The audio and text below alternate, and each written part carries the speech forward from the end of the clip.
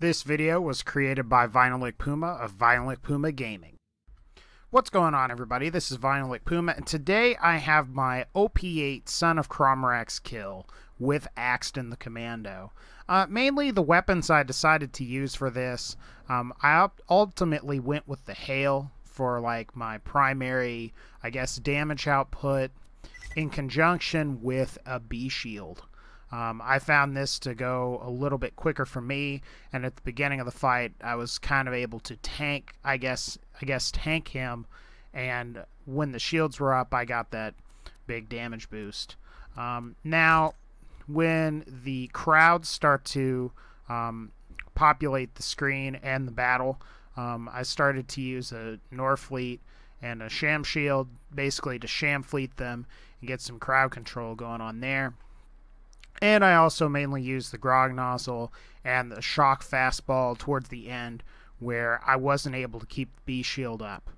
Now, as far as class mods, I ultimately opted for an Impact Rifleman class mod.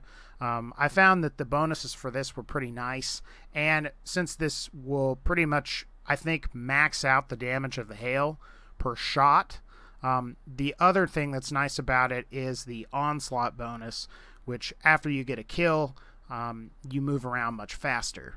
And this was really great because um, since I was sham fleeting and I was killing things relatively quickly, um, I was able to move around and it made it hard for like the smaller enemies to hit me.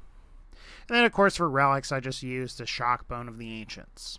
But anyway guys, what we'll go ahead and we'll do is we'll get into the kill and if you did like this video, please be sure to rate, comment, subscribe. Otherwise, I'll see you guys later. Take care, guys.